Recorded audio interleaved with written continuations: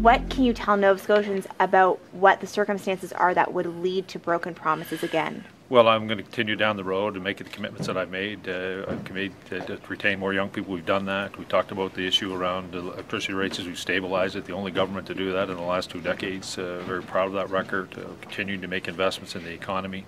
And Nova Scotians expect uh, their premier, whoever has the opportunity to hold that office, to look at all the circumstances and make decisions that they believe in the best interest of all Nova Scotians. You weren't as combative as we expected you to be. Why is that?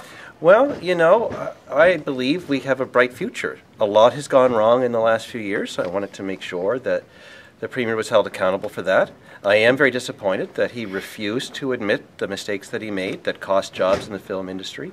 He refused to admit that he politically had schools built in his own riding and the Minister of Education's uh, when he had a chance to tell people that that was wrong.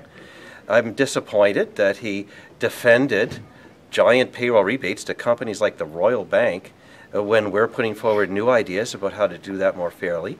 Uh, I think he still has a lot to answer for, quite frankly. But for me, today was about showing people that we have a more positive way forward. Do you think this is an election about two competing visions that are diametrically opposed? It utterly is. We often hear people say, oh, well, politics, they're all the same. We're not in that situation here in Nova Scotia at the moment. We have two parties that uh, support the view that uh, developing a budget surplus is the most important sign of a government's competence, and we have a party, us, who, who takes the view that what's most important is the needs of the people, and that at, right now we need to make serious investments in advancing those big, big differences.